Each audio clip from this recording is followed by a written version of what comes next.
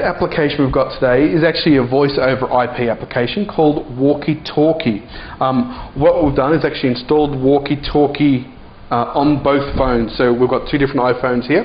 One is my phone, which I'll start up Walkie Talkie on my phone now, and we'll start up Walkie Talkie on Fiona's phone right here.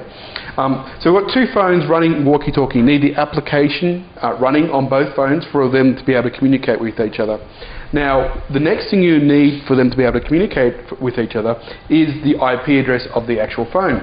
Now, I've already put the IP address in. We're using a home network at the moment, so it's easy to find the IP address out.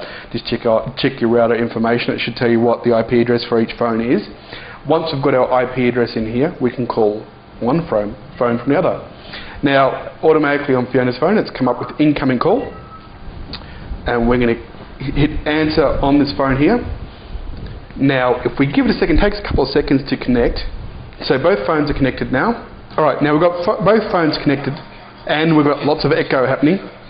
It's basically a walkie-talkie, so what we can actually do is turn on the push to talk button. The P PTT button there enables push to talk. So if we hit push to talk, what we'll hear on Fiona's phone or my phone actually, is my voice coming from this phone to this phone. And we're going to get echoes and echoes and lots of feedback.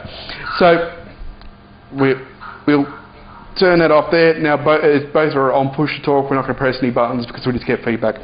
It's a basic walkie-talkie voice over IP service. If you're traveling or, for, or, you have a friend that's traveling and they're able to, to SMS you their uh, IP address. They can start the application after they've SMSed you with their IP address.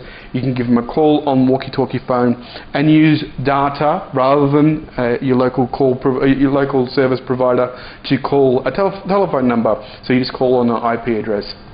Um, now, I wouldn't recommend you use this application on 3G networks because it could get quite expensive like any other data transferred over your 3G networks it, it is ideal for the situation where you are on a wireless network um, and you're not paying for that wireless network, especially if you're in a hotel room and you have an unlimited data thing. You're not going to use any hotel rooms data limit for the day.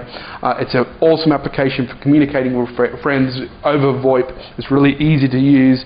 As you saw, it has a speakerphone function. It has a push-to-talk function, function, so you can use it like a normal phone as well.